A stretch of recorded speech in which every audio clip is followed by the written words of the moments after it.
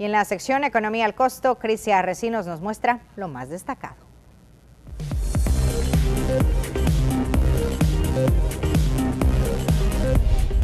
Muy buenas noches Roxana y a usted que nos sintoniza este martes. Todos funcionamos mejor con objetivos. Cuando sabemos hacia dónde nos dirigimos y cuál es la meta, es más fácil visualizar el camino a seguir. En gestión financiera esto no es diferente. Así surgen los bloques de planificación que tienen que ver con los objetivos a corto, mediano y largo plazo.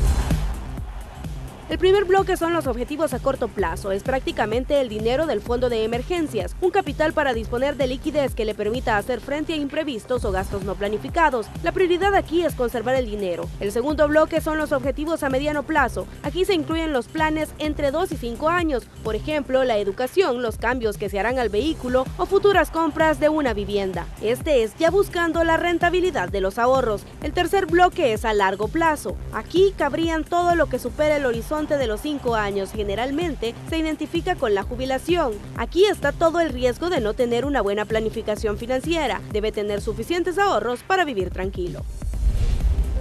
¿Sabía usted que un presupuesto familiar habla mucho de la cultura de cada país y de las facilidades que se dan en los estados a sus habitantes? Hoy les presentamos algunos comparativos para que conozca a qué destinan el dinero las familias en diferentes partes del mundo.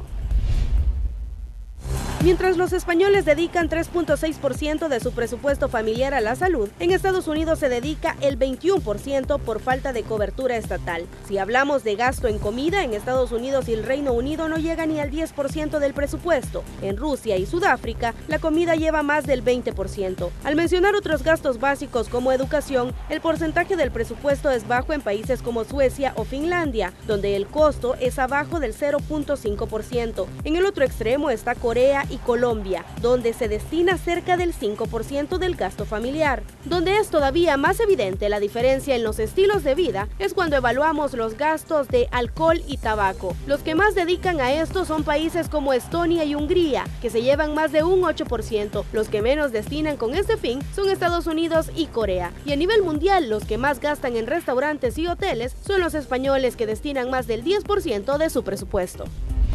Con esto finalizamos por hoy Economía al Costo. Sigue en sintonía de Noticiero Hechos. Regreso contigo, Roxana.